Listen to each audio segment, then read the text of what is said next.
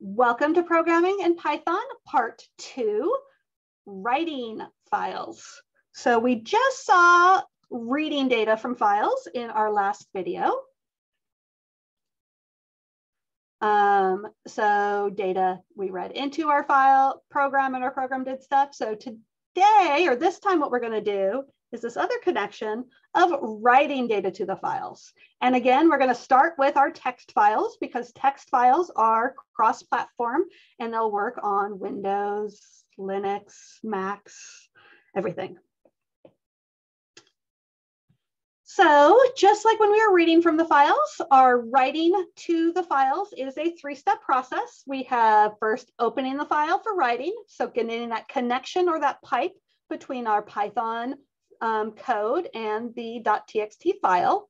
Then we have step two, where we are writing data to the file. And then step three, where we close the file. So the open function is the same one that we had used previously. Um, it's going to take a file name that we want to write to. So maybe my data.txt, right, as a string. The mode now that we're going to be writing to as we do things is the W mode for write. And this function has a return value of, of another file object, right? That connection or that pipe between our Python file and that text file that um, we can name that variable, right? File, file out, F out, file object, whatever you want to call it, right? This is that file object variable that's returned from the open function.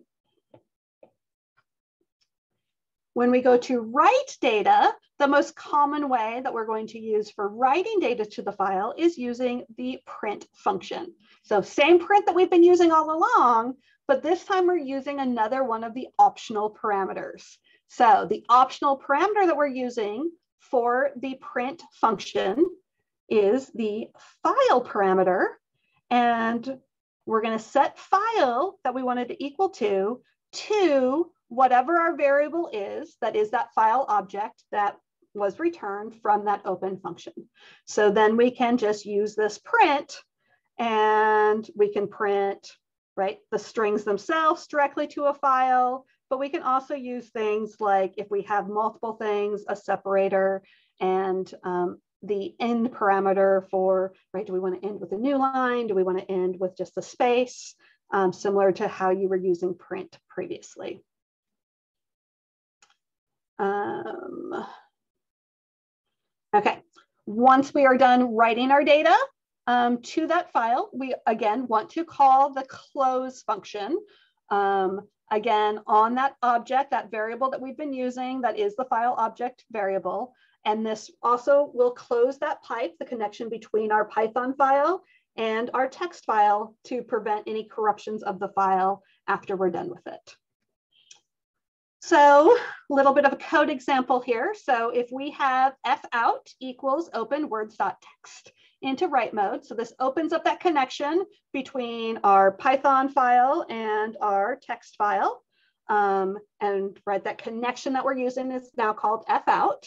So if we start with year equals 1991, and then we print hello world to file equals f out, in words.txt, we would see right, this um, text appearing based on the print. If I called print again, Python was created in this year, file equals f out, then I will see that um, printed right inside of word.txt. If I print done, I didn't specify file equals f out, so the done goes to the console window. So only when we have specified, right, that something's going to a file, will it write in words.txt normal print still goes to the console window. And then our last step is always closing that connection once we are done with it. So a couple things um, when we're dealing with files. So um, we've seen reading from a file. And so that's one of the modes that we passed in. We saw writing to the file. And so when we write to a file, the file, um, if the file already exists, it's like we erase it and start over.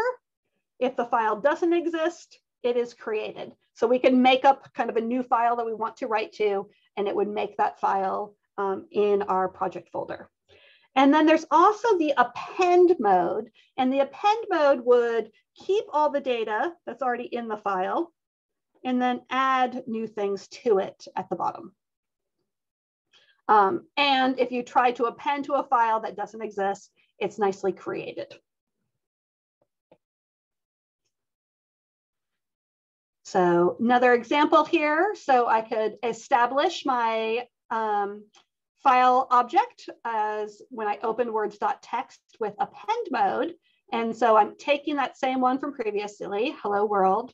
Um, Python was created in that. So when I open that connection, right, I see the connection from my Python file and my fout object that was already there.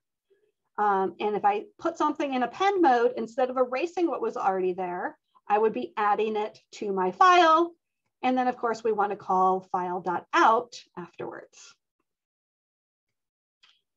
Okay, so what if we wanted to make a program that just writes information about you to, sorry, still have a scribble there, um, write a program, uh, information to write info to a text file and just loop to allow the user to put data about themselves so that they facts about themselves um, to include in the file. So um, if we were interacting with the user in our normal console window way, we just said enter info, they get to type a sentence. Do you want to add more? Yes or no? And we get these different facts. And then we want to write that to a text file. So this is your challenge, right? If you choose to accept it before lecture, how would you do this program? And then can you check, did we get a text file back?